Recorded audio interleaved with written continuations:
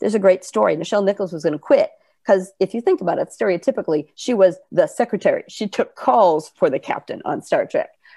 So she kind of thought, this is a waste of my time. She'd been a big band singer. She had more to do with her life. And in fact, the Reverend Dr. Martin Luther King met her at some fundraiser and said, Oh, no, no, you are deeply important because you are showing young children that we belong in the future. So she stayed on the show and look, then she did the movies. And of course, Nichelle is as iconic as any of the early females in television.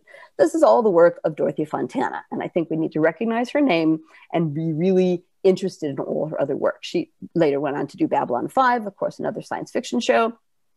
She worked on the video game versions of Star Trek. So she stayed in that realm and was sort of the, the, the cover who knew all the history and how all the characters should be portrayed long after Gene Roddenberry passed away.